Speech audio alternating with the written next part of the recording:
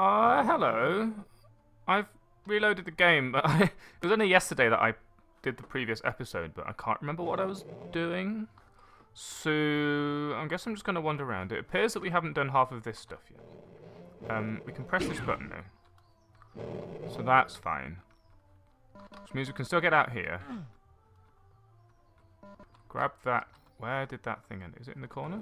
Yes. Good. And we can kill these things. Maybe we should chainsaw them? Sounds fun. Ow. Good job.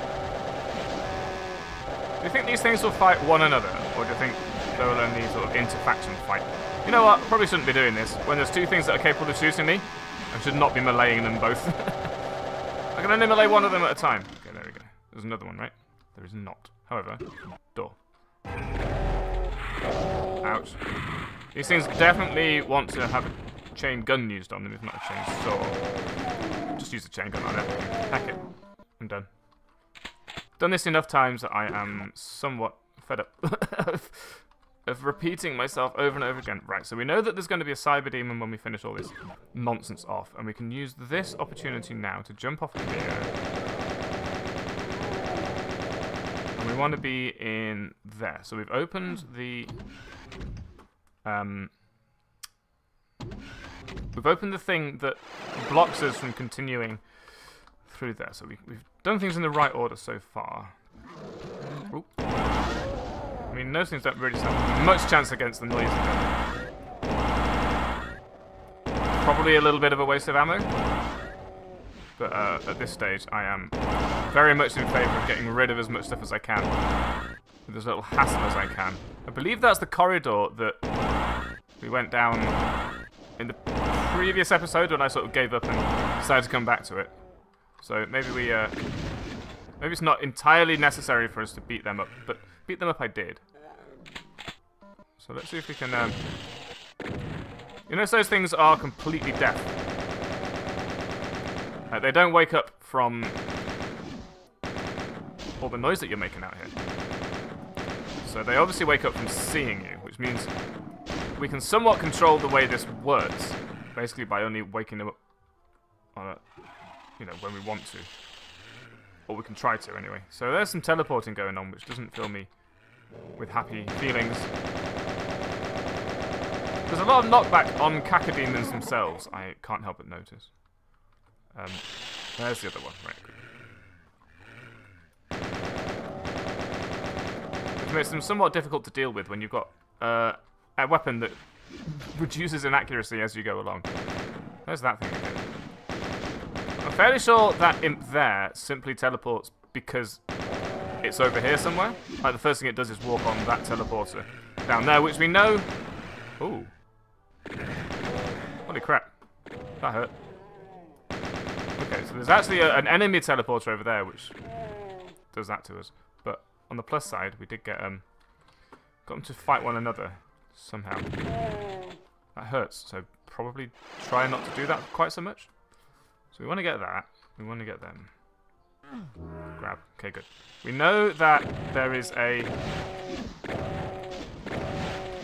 Um, red door we can't deal with yet here. There's a second one of those, that's fine. We might as well get rid of this thing and the other losers stuck up there while we still can. And there's another radiation shield in here, so if we really need to, we can jump back in. Uh, we're going to open this. Excuse me. The fact that you didn't actually have uh, a dead made me sad. And then we can jump on here, which is also scary. Okay.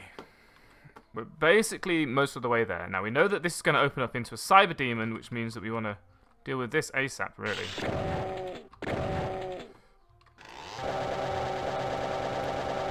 Mean, uh, it seems like the fastest way of dealing with them is to chainsaw them. And we know... okay. When we come out of here, the plan is to run over there, open that, and then get on the far side where the... Um, where the Baron of Hell was in the first place. So this opens something. We should find out what. Is that giant door? Okay.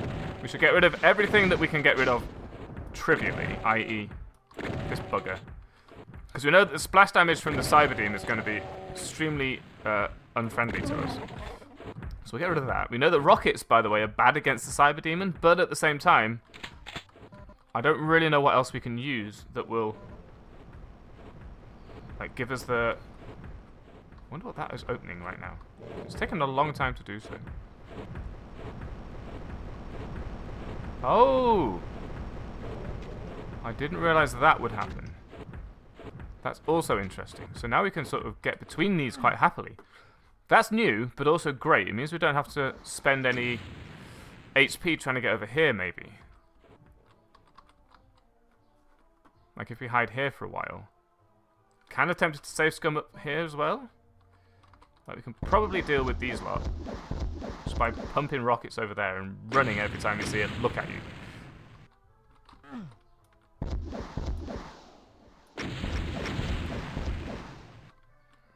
I don't know, only some of these really have to land. It's not like I'm really aiming or hoping for the best, but at the same time, we do need some of them to actually land because the splash damage will do nothing. So to a certain extent, we're just hoping that the Cyber Demon walks in front of our rockets. It's not like we can get in there and just telefrag it. The only teleport that takes us over there will not hit it, as far as I'm aware. So we have to sort of coax it into firing at us and try and hit it with as many rockets as we can while it does that. Is it dead now? It's got a lot of HP. I mean, I don't know why they would do this uh, anti-splash damage joke, because why don't you just give it more HP, you know? Instead of using a trick to make it seem like it has more HP, just make it have more HP. We could do this. Because when, when it fires at us, we have some chance of uh, hitting it with some plasma thingies, because it's standing still at that point. The plasma things have such a, a long travel time that I don't want to waste all my ammo. Just... Oh! That was a great shot. I'm not sure I'd even notice if it died. Especially if it didn't die in sight. This is pesky, I'll be honest. That was a very lucky shot. Oh, oh, that sounds like it dying. That's one of those, uh... Yeah, okay. It actually dies with a full world sound, so you can assume that you can hear it. Uh, okay, I should save Scum again, so I will. um, because I'm sick of doing that. That was my fourth or fifth attempt. Probably fourth or fifth attempt just today. So we have now the red key. The red key allows us to get to the red door. The red door is where? I also want to get through there. The red door is back through there. Okay, I remember. So we have to go this way. It's gonna hurt. I don't think there's any other... Um... Radiation suit except for that one, so that was correct. Imp. Well, was going to say Kakadu too. There is actually another radiation suit in here, so that's pretty good. It means we can finish off the level because, of course, there's that one part of the level that we avoided at the start that we kept doing the first time around um, which this time we elected not to.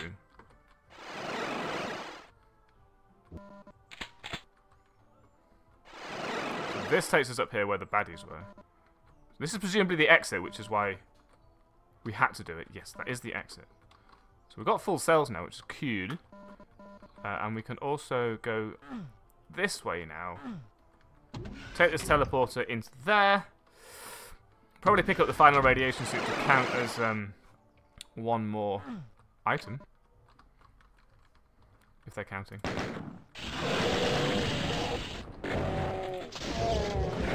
Invulnerability. also that item, which I've forgotten about. Uh, which is opened by the, either the red or yellow door, so it has to be the last thing that you do. Uh, worth picking up just for shits. I can go in here probably should go back to get that. I just want to do it, just for the sake of having done it. Make sure that we don't get any penalties for forgetting things. Take that. Good, good, good. Take that. go this way. The fact that there's two teleporters up here seems a little bit strange, but, I mean, okay. We should pick these up because we used our BFG for shits. Uh, and we have finally done it. We are the best. That was another long episode, but, um... 98% kills. I must have missed something walking around somewhere. Uh, if there is, like, a... If I did some cuts, then we're going to want a little bit of a longer episode this time, so happy to keep going. Also, I'm not quite as terrified this time as I was last time uh, from having done it. It's a weird sort of terror. It's sort of terror where it, it's getting to you, you know. It's um, it's an old game and it's not particularly scary in in the way that it used to be, I suppose, where you never knew what was around the next corner and all the jump scares and the twitch shooting and stuff was a lot more difficult with the uh, original style of gameplay and therefore uh, of control and therefore the game I, I, guess a lot of the the a lot of the game is based on the way that you originally would have played it so a lot of the jump scares and things like that would be because it's hard to react quickly to a lot of the things that are happening in the game uh, which don't really count right now but I still found the previous level very, very difficult. To the point where it wasn't necessarily... I don't want to say that I got so frustrated that I got pissed off and rage quit, but knowing that I have to keep facing these challenges over and over again, and I, I wasn't really doing much better each time, was a strange form of... Um, strange form of scarediness. I was afraid of doing it again. I was afraid of failing again. I was also getting a little bit worn down by the number of times I'd tried it. You know, it was besting me, I guess. Which is interesting to think about to some extent because... Wow, okay. That was his 100% speed opening lifting. Where did you go? I don't like that. Basically, you're going to check that didn't turn up out here somewhere. Um, no, it's fine. If you want to teleport like that, I'm perfectly okay with it. Because you're no longer with me. Whoa! Excuse me. Oh, there you are. So it did turn up out here. Or maybe it just made its way out here anyway. How much knockback there is. They must have really slow um, acceleration. I mean, they don't move very fast, we know that much. Should have let them fight each other. I understand. I just thought it was a bit of an intellectual exercise to consider that even though all of the original reasons why this game was hard probably don't really apply anymore, I still found that I wanted to stop playing and do something else for a while. Much like, it was the same sort of feeling that I got in, like, playing Doom 3 with the lights off in the dark at night. You know, it, it wasn't making me, you know, want to never play video games again. It wasn't making me want to hide behind the sofa, but it was making me want to turn the lights back on, even though the lights were on when I played this Doom last time. Um, so I wonder where that teleport would go take us. Because I know that wherever that teleport takes us, there's going to be a fucking Cacodemon there. Because one of them went through the teleport. What did I just pick up? Okay, and I'm still using the... Uh, still using the um, shotgun here. I need a blue key to open this door. It, it is a door. And Partial I can open it with a blue key. I guess we open this. Hello? Yellow key. Am I supposed to remember this? Because it ain't going to happen. Alright, let's jump in. Oh, okay. So the reason that Cacodemon was still around is exactly that.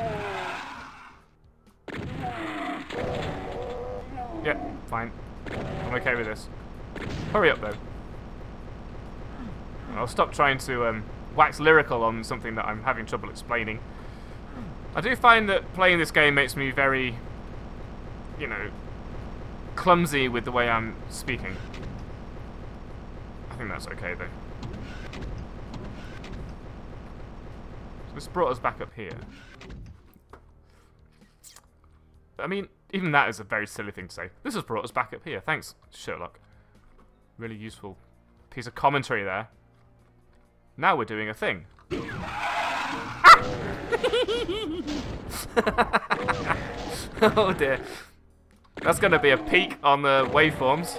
It's going to interfere with my compressor. Oh, what a... Okay, I'm... You got me. I'm okay with it, though. Yep, that does not look like poison.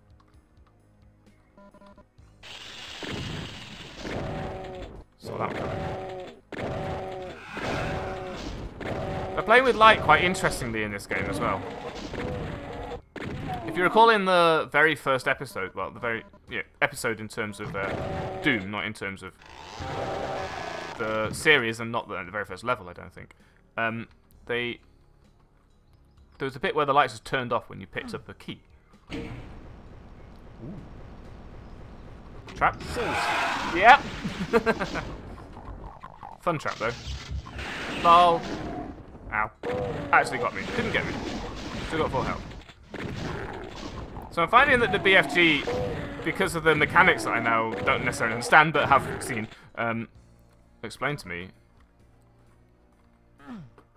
is way less useful than I originally thought it was. And I still really, really like the Quake 2 one, which we have yet to actually view, because we haven't played Quake 2 on the channel yet, which I might do. Uh, let me know if that sounds cool. Um, which sent out these beams of lights that tracked all the enemies that it went past as it went past them. I thought it was super cool. Uh, and I think a lot of the reason I like Quake 2's BFG is that it was so new at the time uh, that it, you know, it left an impression. Maybe it's not as amazing as I'm making out. Who are you making out with? Yeah, very funny. Just like going in there and making them all wake up. Uh, but I think it was still cool for the time. It was cool for the the way it worked, the way they, the imaginations of the of the peoples that did the things. There's a red key, which must be this door.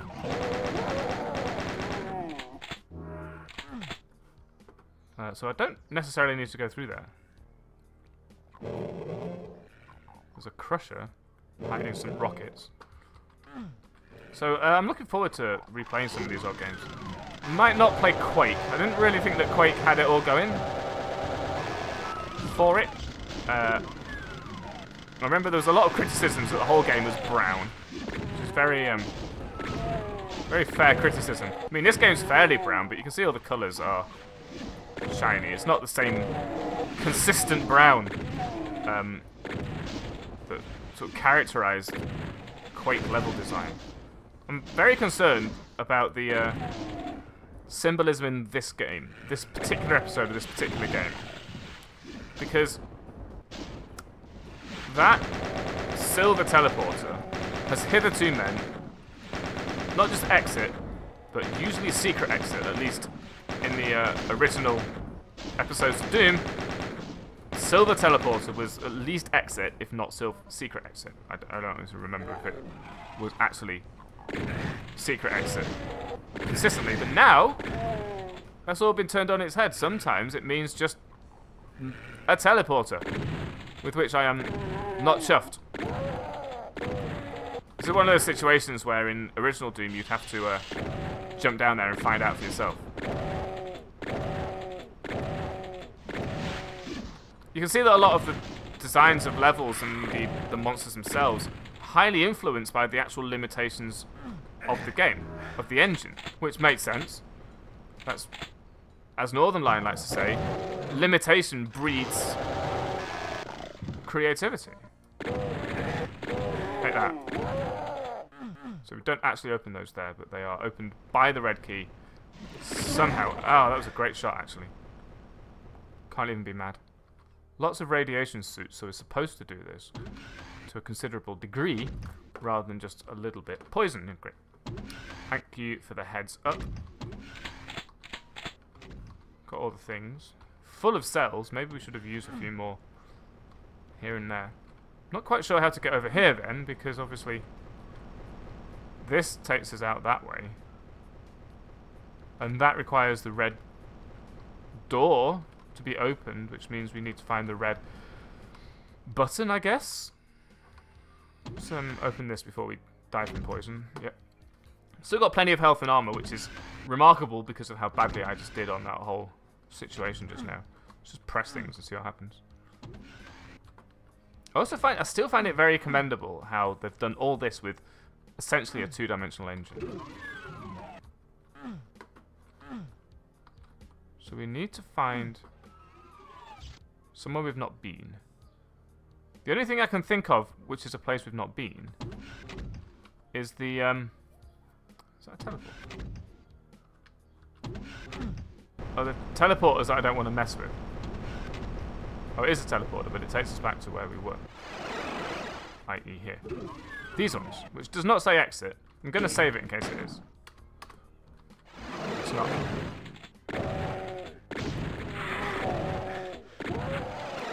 Thank you for disappearing, although please don't come back. I can hear sounds. Oh, it's outside. Uh, don't worry. I'm not going crazy. What do we do here? I want to turn the flashlight on. I've got a yellow key all of a sudden. Don't know how I deserve that, but okay. must have been on that pedestal and I didn't notice because I was too busy panicking. So that when I walked into it... That's obviously a trap. I'm not that silly.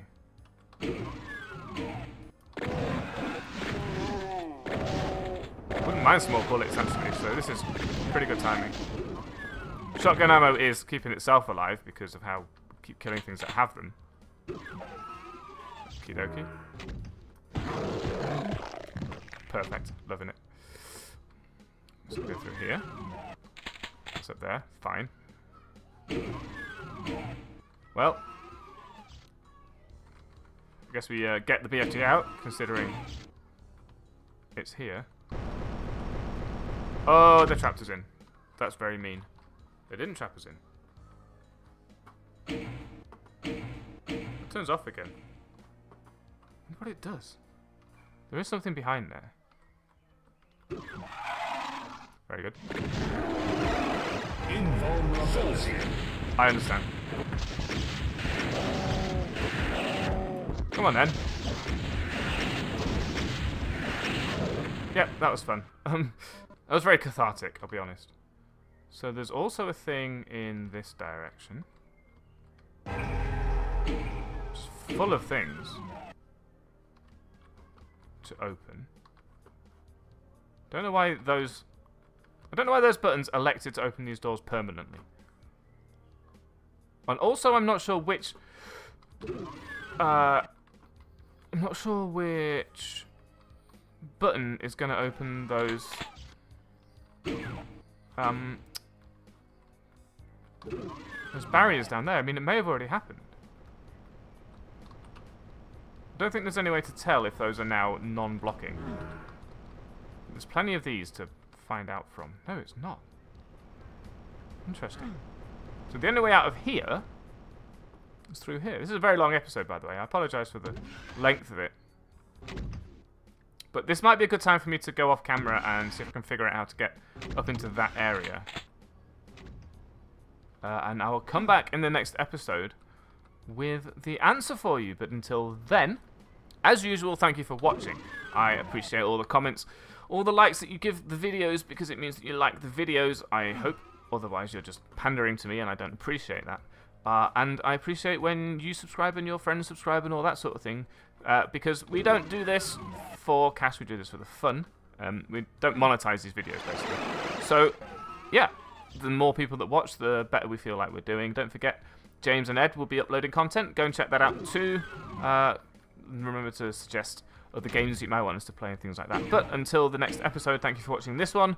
Hope you enjoyed it, and hope that when we come back, I will have figured out what the hell I'm doing. I'll see you then. It's okay, friends. I discovered that, in fact, uh, you do open the door. Just by pressing it. Um, please leave me alone, though. So, that's fun. Yeah, I, it, I guess I just completely failed to actually press the line that was the line for the thing. Still don't know how to get over there, though. I, I must have just missed the columns when I tried to open the door. Um, quite how you get over there, I guess this. That's interesting. That's actually two sides. But it's not a real switch. I think the actual switch is that line there. Yeah, there we go. Ooh. Uh, so I noticed that there was a red switch over here, you see, in the middle. So I'm guessing that that is a, another red door type thing. These crushers are full of blood. It's pretty gross. So that'll probably be the end of the level. So, again, thank you for watching the episode. Little PS postscriptum, not postpartum. For that one, that's the end of that level. Thanks for watching. I'll see you next time.